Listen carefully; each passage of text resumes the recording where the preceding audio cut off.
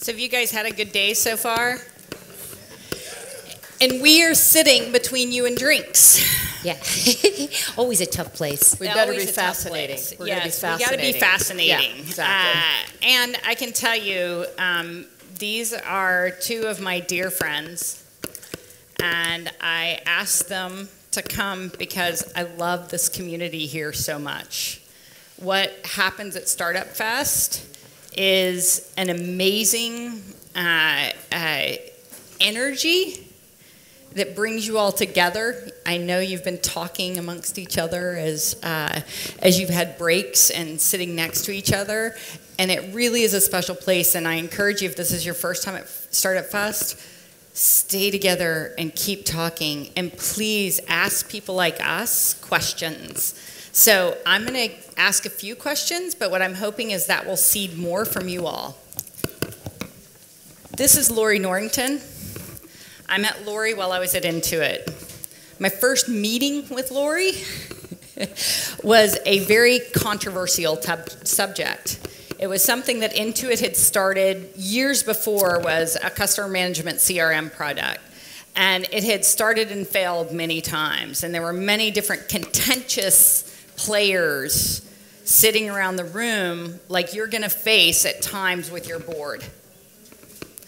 The way she handled it was amazing. I was just there. I'd only been there a couple of weeks. I didn't really know the culture of the company or anything like that. And Lorrie just went around the room and listened to everyone and then said, I see we have some disagreements. That's great. We're actually all here to work together. And here's how we're going to do it. That's something that I want you all to take with you is remember even in those tough times and you're going to have them as a startup. This is my seventh startup that even through those, there's guiding lights like Lorrie that can get you through it. And that's one of the things we're going to talk about. Next thing I'm going to talk about is Nanon. And I met Nanon because of Lorrie and got on the phone with her talking about funding and seed stage. And she's investing in women, which is something that I'm very passionate about. But what Nanon has is an energy. And uh, it's it's a joy about her and about what she's doing. Again, please seek those people out, those people that are going to have that joy, but also be able to tell you why there's a struggle. You know, I was introduced as being uh, with a description that was very buzzword laden. That's a problem. Nanon is the person that's going to joyfully tell me about my problems. This is someone that you want near you. So think about those things as you listen to them, as you listen to give their advice. One of the things that I ask from them is that they actually give you contrary to conventional wisdom. You're going to hear tons of conventional wisdom out there. What is it that they've found as, as nuggets mm-hmm. that are the contrary to conventional wisdom, pieces that you all need to know? So, Miss, do you guys have anything to add to that as we talk? Did I do okay? No, oh. but it was, I, we're there now. I'm Okay, kidding, I'm thank kidding. you. It's all good, it's all good. No, I thought, I thought you did a great job, Jana, because you're absolutely right. I mean, all these people in the room, it's tough. It's tough running a business. Every day you've got to get up there and slog it out, and you're by yourself, and you've got to lead everyone and show that you feel good and that you know all the answers. Well, you don't, and you know that. And it's really, you get a little nervous. And so you need people to surround yourself by people who will encourage you, ask the tough questions, but also support you. So I think that's really an important issue. So you are the light. So I am the light trying to be. the, the reason why this is so hard, and there's a, there's a reason why they had the founding stage and the funding stage. It's a big change, and there's a gap between those. There's not an easy, easy ramp between the two because you're going to have to change a lot of the things you're doing. And that's really, as we talked ahead of this panel, is what is the theme for us? It's really about change and how you navigate through it. Which things you hold on to for dear life and which things you let go. So one of the first things that, that we talked about was how the vision, you know, you got through this early stage with this vision. You were so passionate about your idea and what you wanted to do. how does that change when you get to this next stage and now you've got this investors sitting around telling you, well, when you sold me this, it was this. And they saw your vision a little bit differently because we're never completely aligned. Yep. So, so what is it you've seen, Lorrie, as you've, because you do board work and you do investing work. Your investing work is more at the seed stage now. Mm-hmm. That's right. I started out in early ear- early seed, and now I'm in B plus at this point. But but I would say that the first thing is to really understand, and it gets back to that meeting so many years ago. What are you solving for? Are you solving for a certain customer segment? Are you solving for I love my product and that is my vision? Making sure you understand what you're solving for and being very clear with the investors because that is going to be critical. So many people go and get the SlideShare, you know, the top 10 or top 5 startup SlideShare decks from Silicon Valley. And that is one of the most misled. Sure, you need to know what TAM is, you need to have a business model, you need to have a customer, you need to have a product. Okay, great. But really be clear with investors that, look, this is what uh, my dream is to build. My dream is to build a great product company that can go public and that has a product that sells to customers. Or no, my product is to build, my dream is to build for SMBs to empower them to change the world. Um, that was Intuit's vision, right? So I think having that and being very clear with investors is absolutely critical to start off. The second thing, and it's going to sound a little contrary to the first one, is that you want to make sure that you stay flexible, right? The world is going to change. How you architect product is going to change. How you sell over time will change. So make sure that you're changing with your board as you go forward. And I know we're going to talk a little bit about how that might take place and what kinds of resources you might have a little later on. But I would say make sure that you also know yourself well enough that you keep your mind open or you'll miss an opportunity, right? Because so many people say, oh, I have a vision, I got to execute on that. And they miss the opportunity and, away. And to build on that, Lorrie, I think what started off when you're, I do mostly seed, Series A, and I've done a couple of Series B. It's a very different for lack of a better word, personality you show up with. You are the CEO. You're dragging your team members around. You're doing everything. The jobs, the roles are all very fluid. It's chaos when you're doing a startup. All of a sudden, when you start switching into Series A and B, you've got to start putting some governance in. You've got to start doing some of the tough decisions which CEOs have to do, which is let some people go that got you from the seed to the Series A or B. It's a different type of person you're looking for, and that's really, really hard. But again, that's really important to do it well, and that's how you set from the very early stages the culture of your company and how you build forward. Yeah, you, you shift very much from a player to a player coach at this stage. Yeah. And that's a hard transition. Ha having uh, one of the things that I've done is uh, come in to help entrepreneurs with that. And, uh, you know, I'm sure they'd say, yes, you helped us.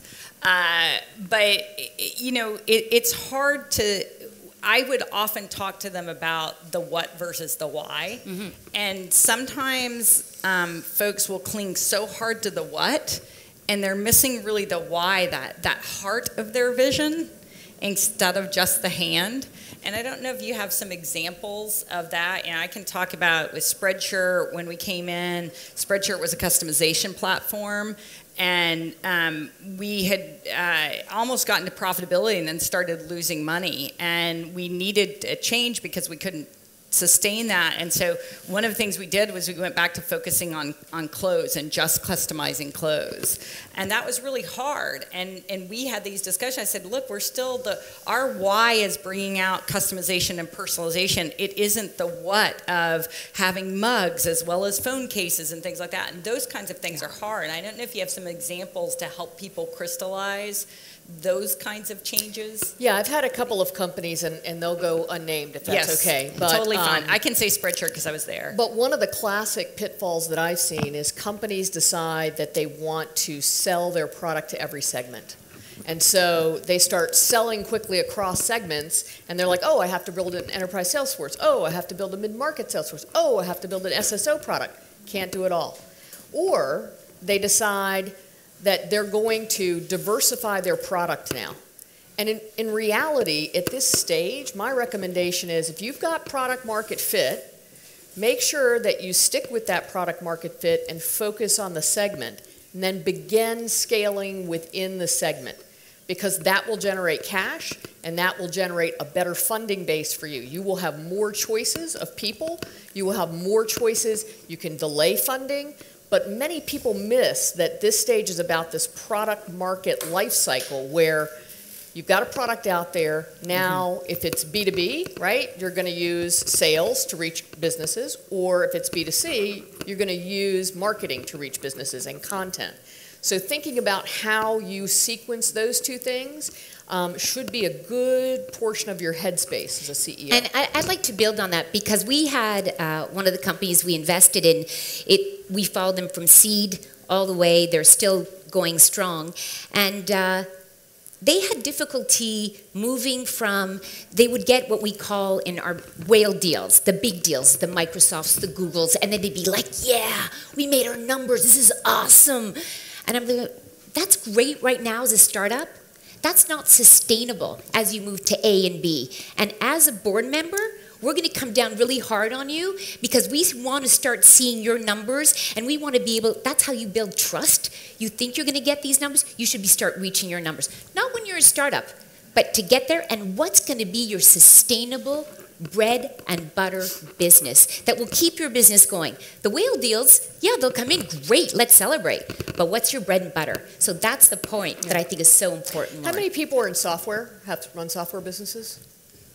Okay, so you've got some, you've actually got some physical businesses here. Yeah. If you're in a software business, this is highly relevant because you've got a stage where you can get to 5 million, and then you've got to do exactly what Nanon said to get to 10 but you've got to make sure that you've got a mid-market business to get to 20. And if you can get to 20, you can generally get to 60 because that means that mid-market business is powering you to 60. If you can get to 60, you can often get to 120.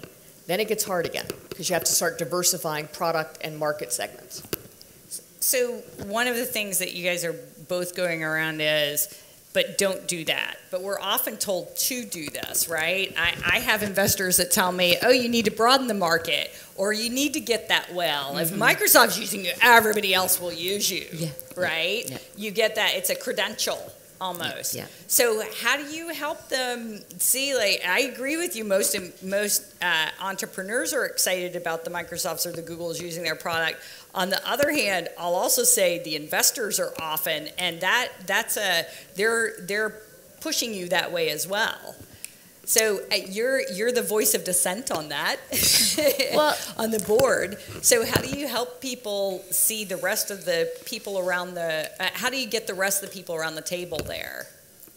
Um, you mean the rest of the people around the table in the sense of whether the it's the venture capitalists, or the, the other VCs that you're working with? Yeah, because yeah. you're also if you're in seed and they go to A, right? Right. You've got other board members there, Absolutely. and you're going.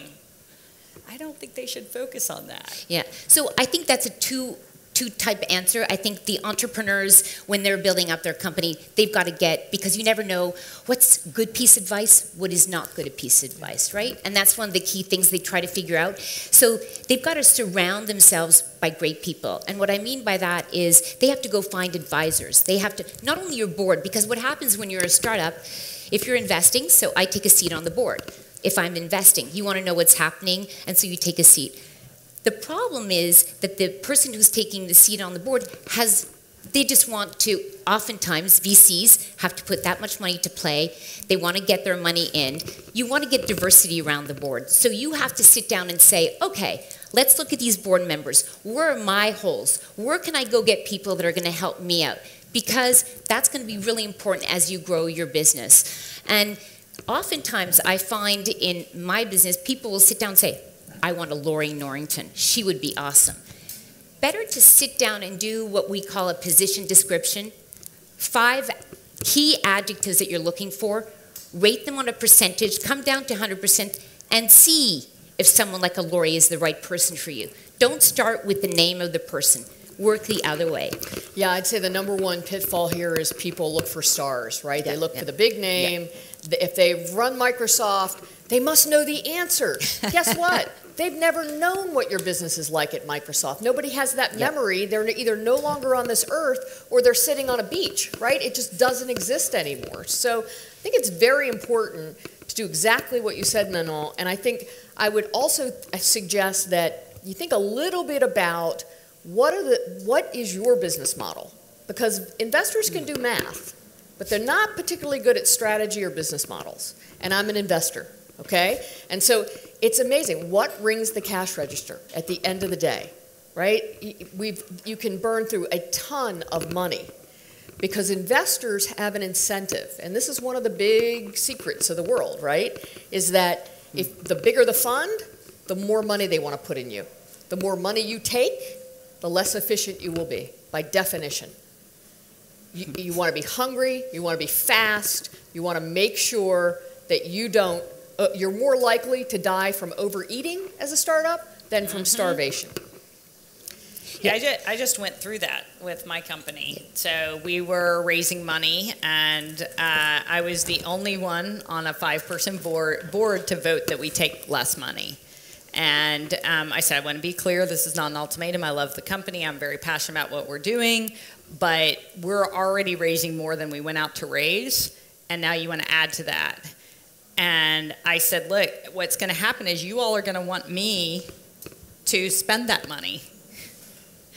And they said, no, no, we'll be conservative. It's just in case of a rainy day. It isn't. And immediately after that, they said to me, but what if we want to hire that one person? Remember that superstar, that person from Microsoft that you were talking about, Lorrie? They just became available. Right, that knows everything about a business that's $3 million and $256 billion. Woo, Yeah. genius. But Yeah. Jana, they also hear a lot of people telling them, you're going to run out of money. 85% of startups fail. I can't run out of money. I got to take as much as I need, right? Yeah, but it's it's your responsibility to manage it. Yeah. And this goes back to another point that we talked about, which is the team and how the team changes. Right. You know, as you're as you're a startup and in that early founding phase, you know, you're excited when people join you, and oftentimes they'll join you for free, right? And they're they're putting their sweat equity in too.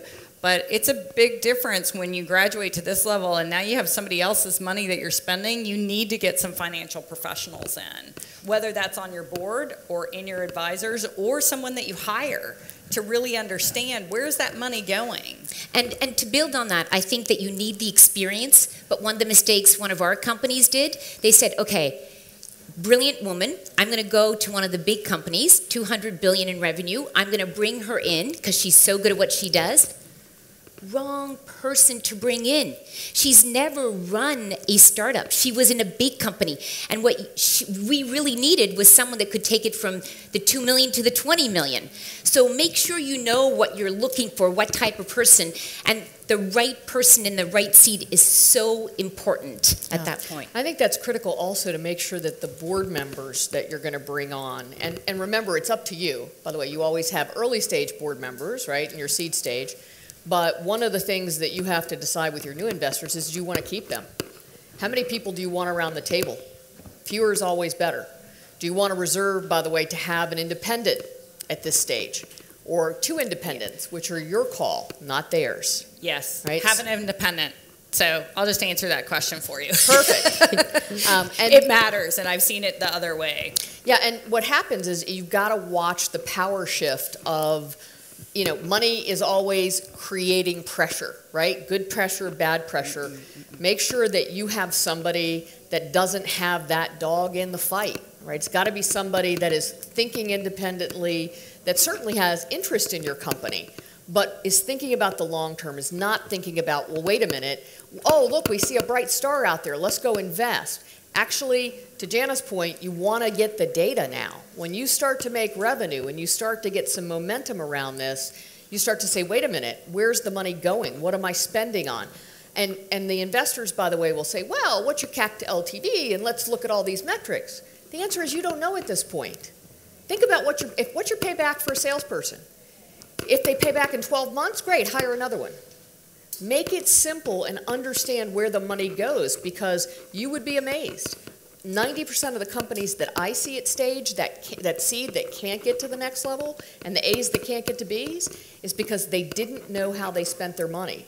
And no, no, I think there's a special challenge in Canada maybe that there's There are. We have SR&EDs in Canada. Everyone here, we've used, government's been very helpful to us, which we don't have in the U.S. In my American companies I've Well, invested we're- If we're going to comment on U.S. politics, I could go on all day long. Yeah.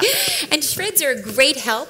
But as a company, I tell my startups that are moving into Series Bs, don't depend on that SR&ED. You have to be able to run your company without having that extra money. Yes, it's wonderful. It got you off the ground fabulous. But you've got to start thinking about it as your company is self sufficient. Really, really important. Really important. I mean, one of the things that we look for, so I work for a, we call ourselves the non-venture venture company. Um, and the reason for that is because we only have a couple of institutions. We have 350 ex C-suite executives and ex entrepreneurs. So we've got about 50 ex entrepreneurs, about 300 ex C-suite executives. And one of the things we look for is we look for high capital efficiency. So say you have $10 million of revenue, right? I know you're not there yet, but someday, right? You keep fighting, you get there. How much money did you spend to get to that 10 million? They don't care where the money came from. Yep.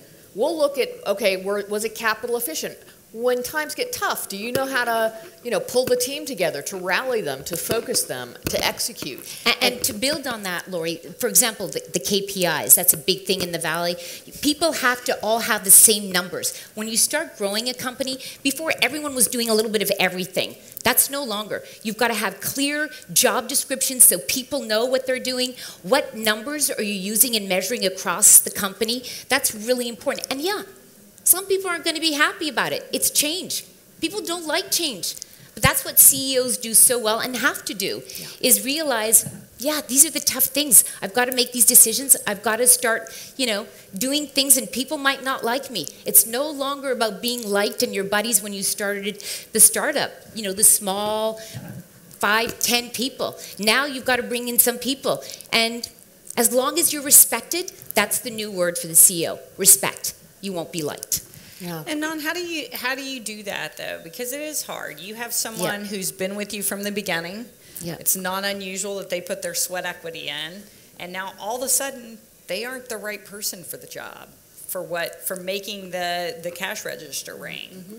And so, how, do- how do you counsel what? the CEOs and, and Jana, I thought it would get easier. I've always seen that, whether you're a seed, an A, a B. And I remember once on stage, I was at a big conference. It was Jack Welch, Arianna Huffington, Jeff Bezos. And the person asked them, What is the toughest decision, the, the, the de- decision you had to make? And they said, Well, the one regret, and it was across the board, I should have gotten rid of that person early on. They might have been brilliant, they might have been great, but they didn't work together as a team. You need the team. All of a sudden, you're growing. You need to have your people. You can't be doing everything. That's what you did as a startup. Now you're moving into a different area where you've got to delegate. And your people that you find, find the best people. Give them the responsibility because you need that. You need to move it all forward. You can't do everything. And I would say it's a challenge when you think about the best people. I would say think about the people you need for the Yeah. next two years. Excellent. Don't don't bring that person in Yeah. from the 256 million dollar company. That person, if somebody has taken a company from C to A and A to B, great, hire them. But really think about those are the kinds of people that you need. And you don't need 20 of them. You need a couple of them to help you really understand where to take the business and how to build as a team.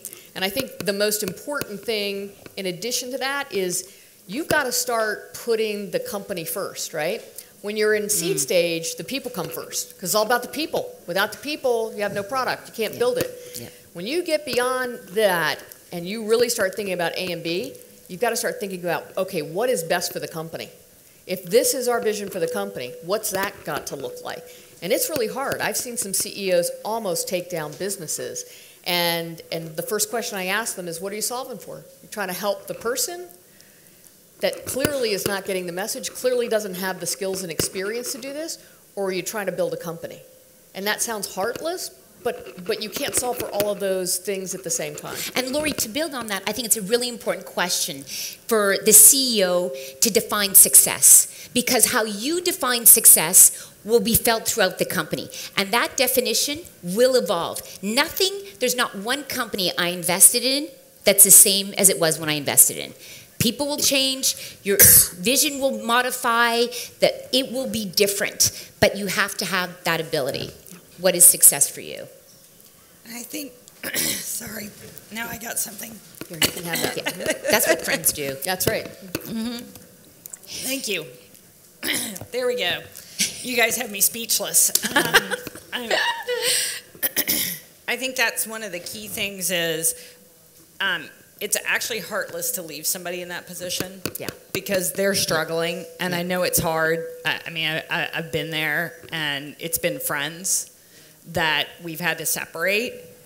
Um, this is serious, and them and you letting the company fail because of that is is horrible for both of you.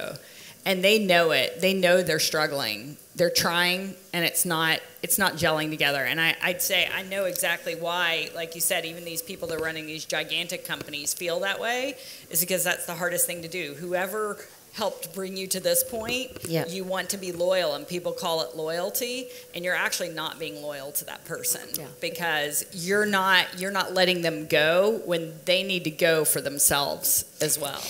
And I would just add that I think you have to do the same thing for a board member, right? I sit on a board right now. It's a thirty billion, uh, thirty million dollar company. Wish it was thirty billion. That's our vision. Uh, and uh, it's amazing. Uh, they have a um, one of the original founding investors that's been on the company board for seven years. He's never seen a company bigger than ten million dollars. So he's very supportive of the CEO.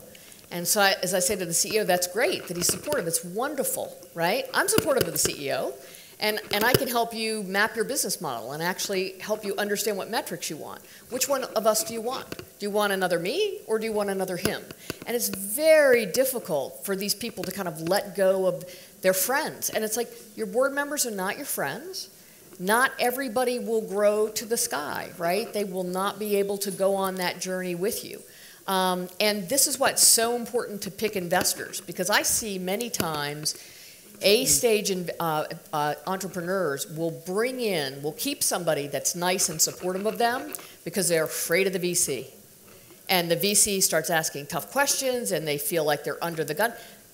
Guess what? Really make sure that you know you're not just selling a VC, you're buying, and making sure that you really understand how they're going to add value. Because sometimes, guess what? They don't give you good advice. Sometimes you have VCs that have absolutely no experience in your business model or your market or your customer base. So, and that may be your only choice. So, as you're negotiating the deal, make sure that you negotiate in independent board members and that you tell them you're going to have an advisory board and give them equity. Because some people, some VCs block that later on. So it's very important that you give yourself that flexibility as a CEO, not only with, with employees, but also with board members and advisors. And also with the VCs, you get to choose your VCs. It is a marriage. In good times, everything's great.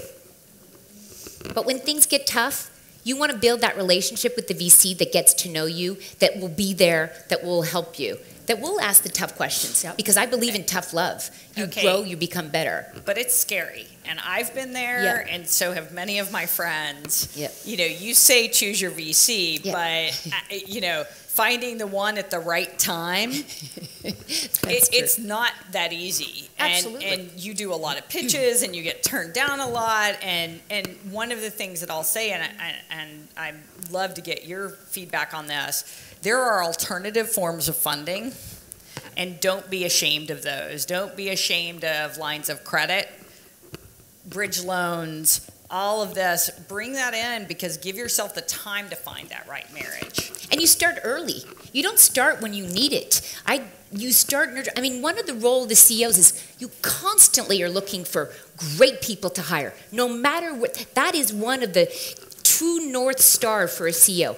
Who are the best people? Who I want on my board? What VCs do I want? Who do I want on my team? You are constantly looking for those people because you're only as good as your people. They're the ones that are going to give out the great product or service, and they're the ones that are going to make the profits. So I think that whether it's a board member, you start early.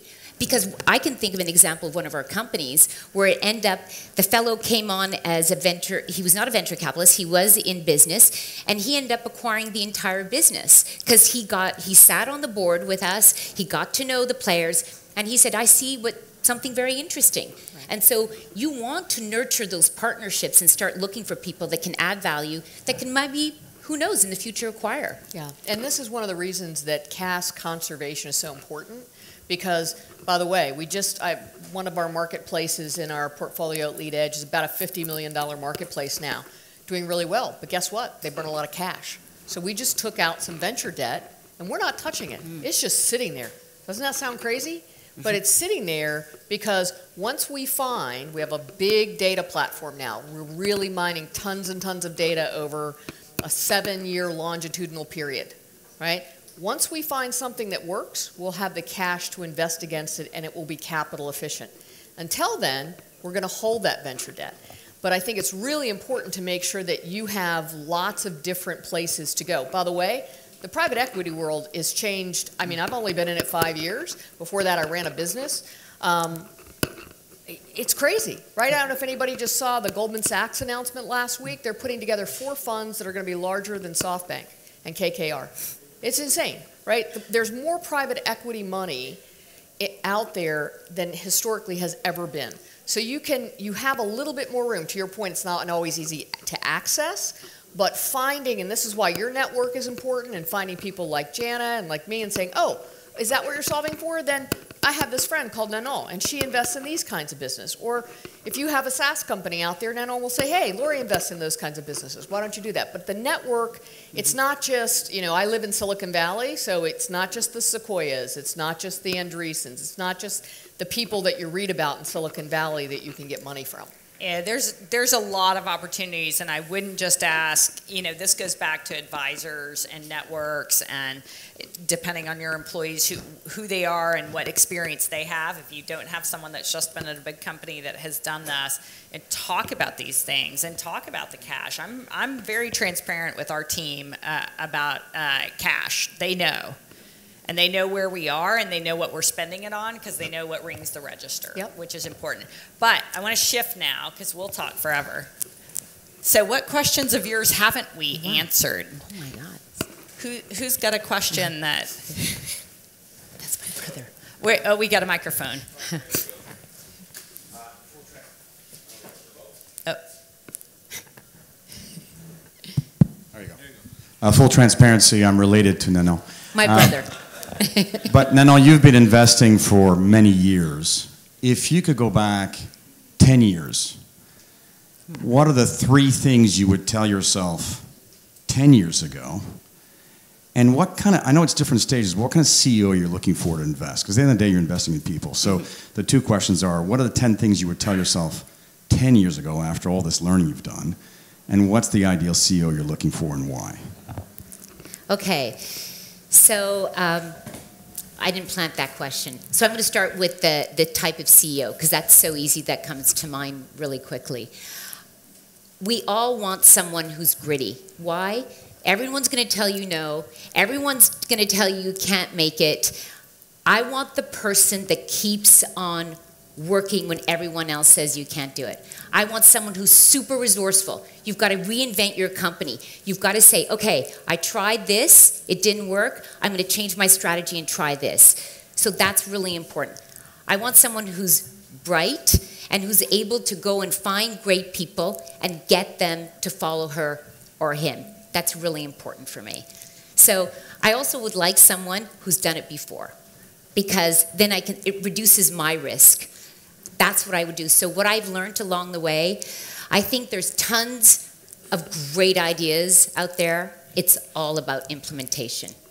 It's all about the people working together and doing something when everyone says that's not going to be possible.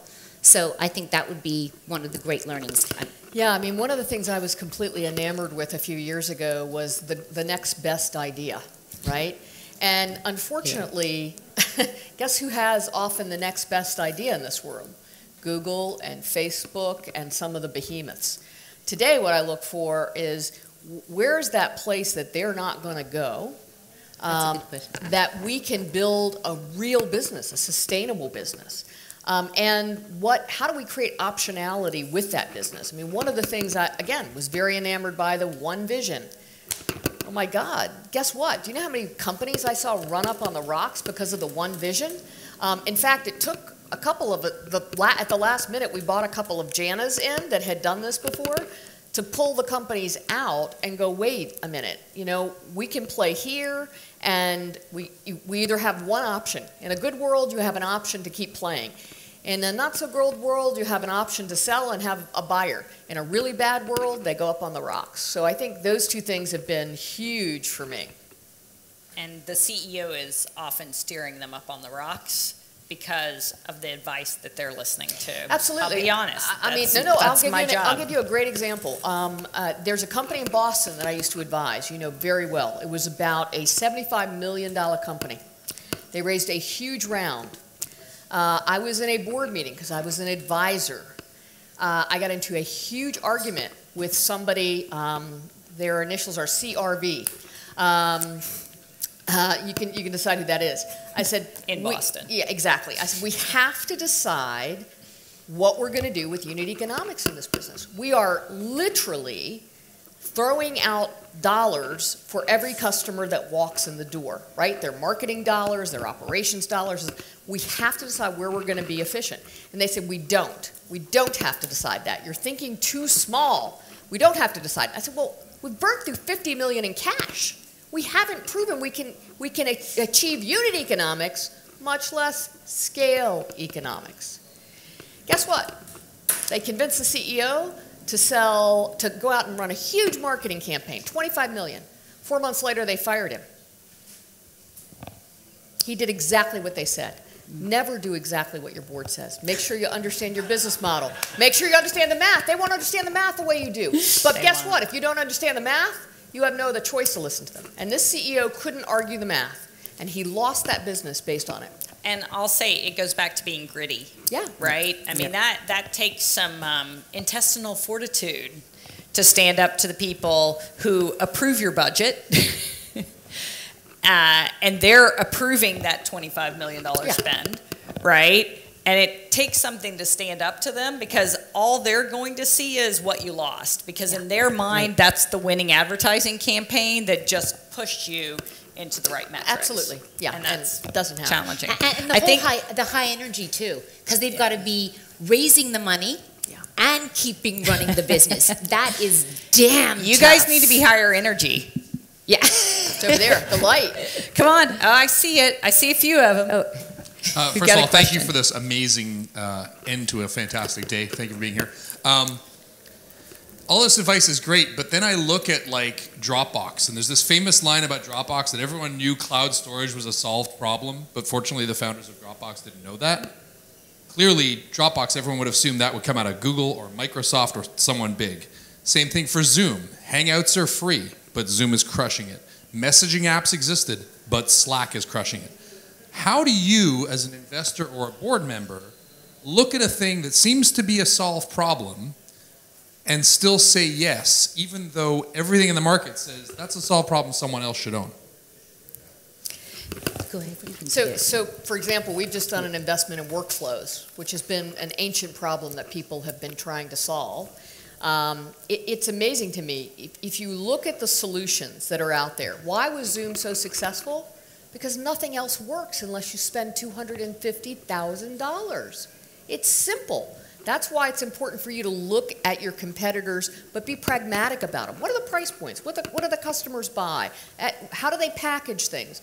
Really understanding Dropbox. I mean, Drew can tell you this story. Yeah. It's uh, I got frustrated because I had to keep things on what were those things that we used to stick into USB thumb, ports? Thumb drives. Thumb drives. That's right. God, it seems so long ago, right? And it was like, oh well, you know, it was crazy. In fact, I had the argument with him. If he wanted to go after enterprise, he had to get safety, and he said, no, I don't. My product's perfect. Where they? Who beat them to enterprise? Box. So there's always somebody looking at that product and and sometimes people won't naturally go there that's why it's important to understand the dna of the behemoth and to get some advisors that might have done business with those behemoths before and really really focus on what can you do well and if you do it well is there a big enough need look at how much we message in our personal life for god's sake like i see offices of 200 people in some of my boards where they're literally emailing one another they need a real-time communication. And, and guess what? Nobody in Silicon Valley feels comfortable actually, they're not extroverts, right? They want to sit and code.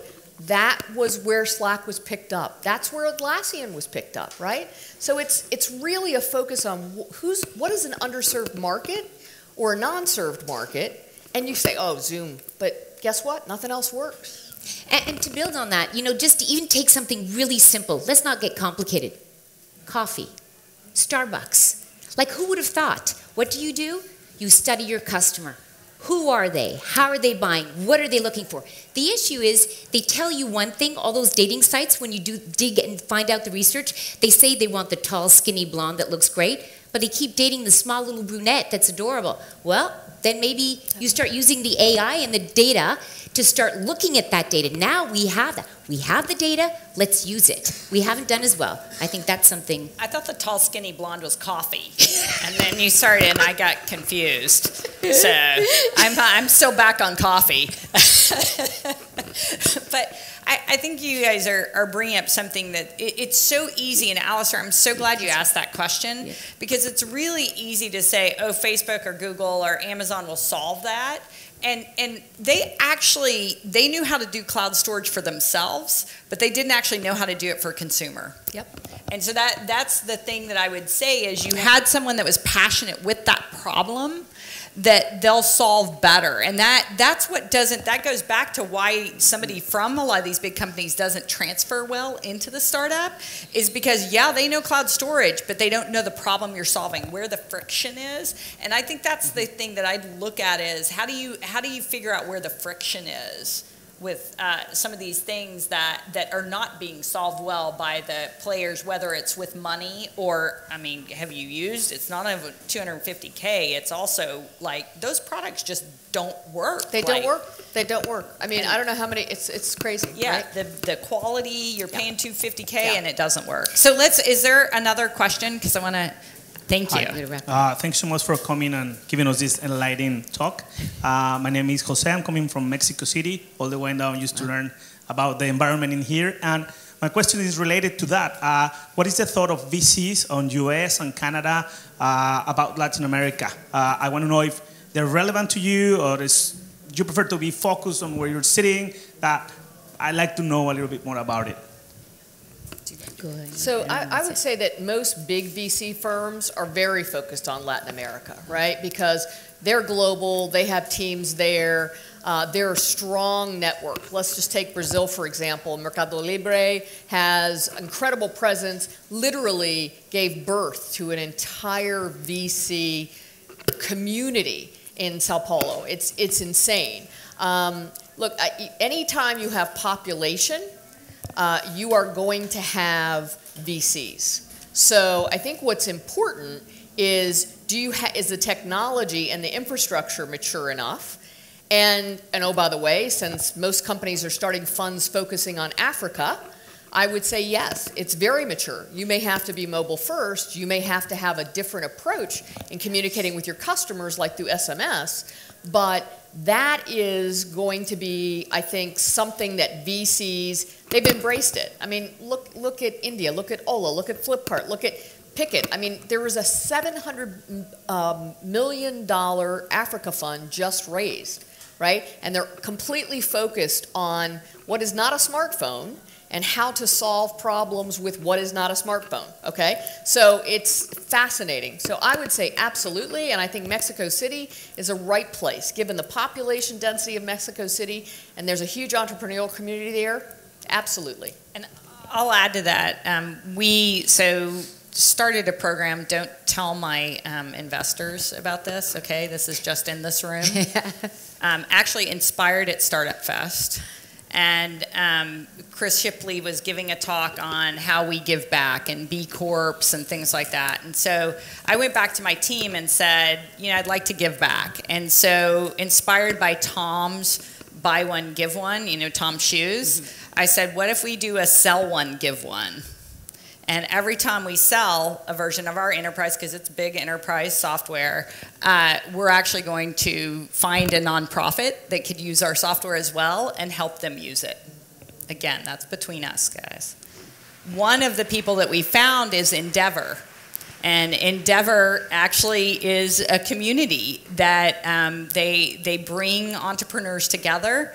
They have them in a class they structure introductions to VCs and finding the right VC yep. is very important.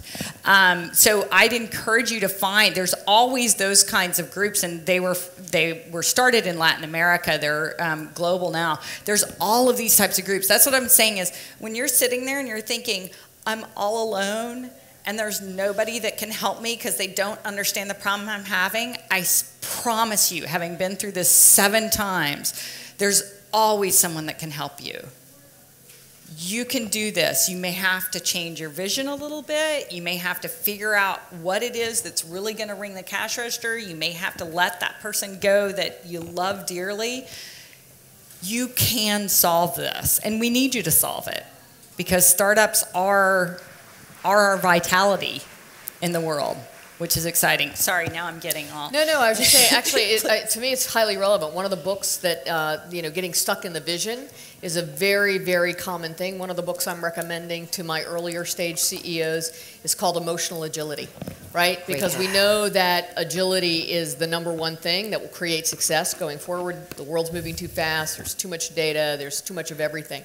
Um, but if you can emotionally manage yourself then you can influence others. And this is where I want to go back to a point that you raised, Jana, which is about boards, right? They can be daunting. Guess what? I've been on 15 boards now. Everything from Colgate Palmolive to I mean the smallest seed you were on startup. TaskRabbit. I was on TaskRabbit. I was on Develop World. Anybody heard of that? Of course you didn't. Yeah. Um, so you know there were. I, have been on a lot of boards. So I have, I'm not counting the privates. I'm just counting the public boards at this point. No board wants to see a CEO fail. No board really wants to take the CEO out of the job. So part of the question is, for you is stop thinking that you're pitching to your parents or somebody that you have to impress and pitch to your partner. Think about Pickett, your dog, your life partner. Think about somebody that's in it for you, that's loyal for you. That's generally what your investors are. Sure, do they ask tough questions? Are they there to make sure that you don't run out of money? Of course. But guess what? It goes back to Jana's meeting that she talked about at the beginning. I asked one question. I said, We all have different opinions, but we're all solving for one thing, and that's a customer here. So let's focus on solving for the customer. And that's generally all your investors want. Can we have one more question? Is there one more? No more? We answered them all? Did you have one? No? Oh, Alistair's going to jump in. Oh, we've got, no, no, no, Alistair, you can't. I've got up, up front. There you oh, go. pastor. Sorry. Sorry, I'm going to. We have two more. We've we got two, two people. We'll do two more. Quick. We'll do two more.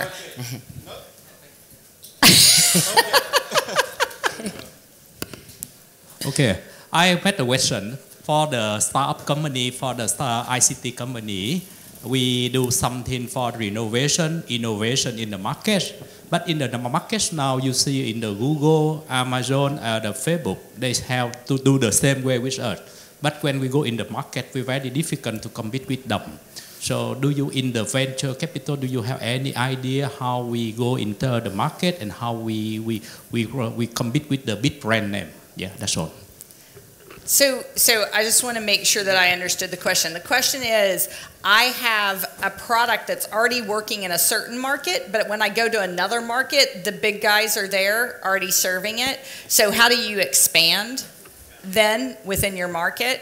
So I'll I'll, I, will i will give my answer because I, I've been in that situation before with uh, Spreadshirt. So Spreadshirt was a customization platform, and here in North America, Vistaprint and um, custom Custom Ink and oh my gosh, Fred's company. Yeah, uh, starts with a Z. Yeah. Uh, keep talking. I'll think of anyway, yeah, Zazzle. Zazzle, thank you. Zazzle. Yep. And CafePress. So all of those were bigger than us. We were the European leader.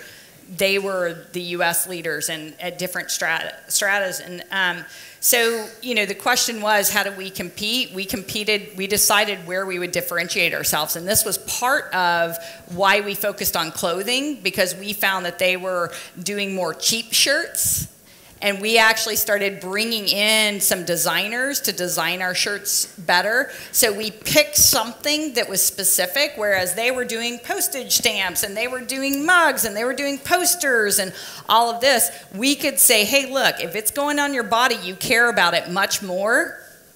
And that's where we're going to focus. And we grew that business. Um, so when I joined, um, we were a, about 12 million, um, and we grew it to over 50 million in, in three years.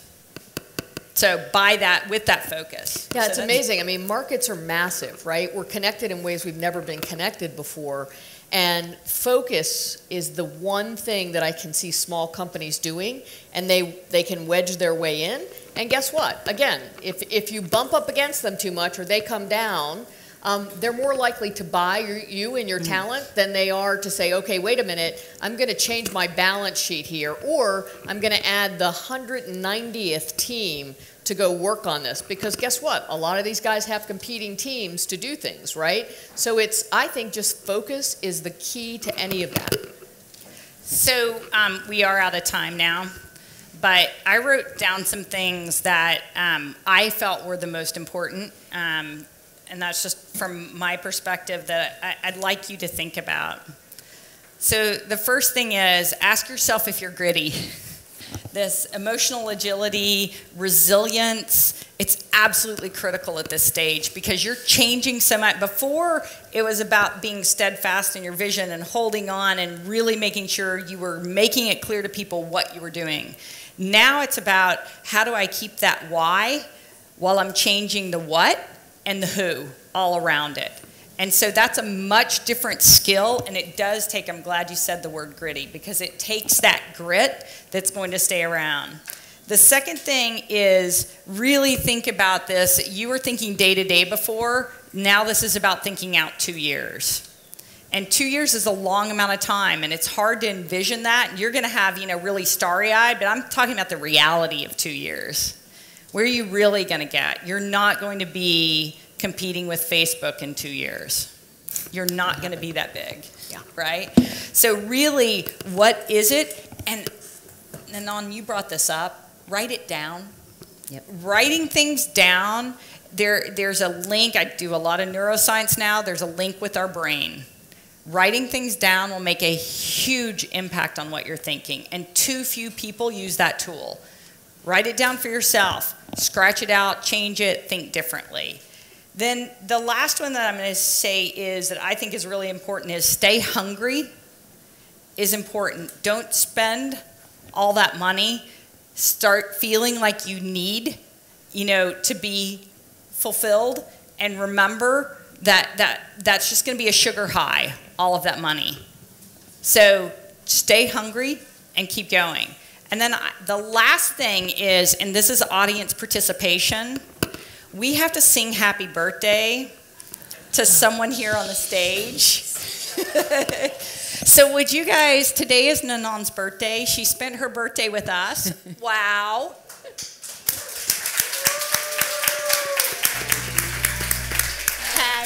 Thank